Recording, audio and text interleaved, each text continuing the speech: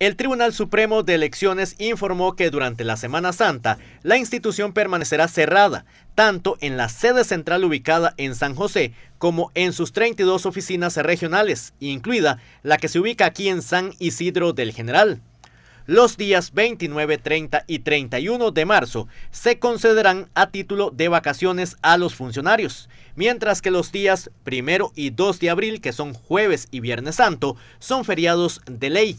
Todas las oficinas del Tribunal Supremo de Elecciones reanudarán su atención al público a partir del lunes 5 de abril. La de Pérez Celedón en el horario que va de 8 de la mañana a 4 de la tarde.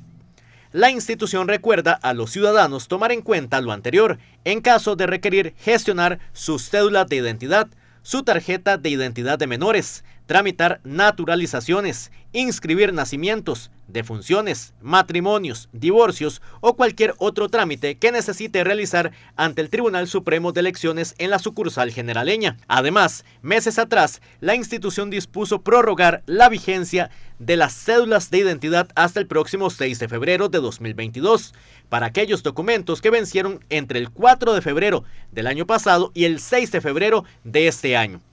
De igual forma, durante la Semana Mayor, el sitio www.tse.go.cr permanecerá habilitado las 24 horas del día para efectuar consultas en línea o adquirir certificaciones digitales por Internet.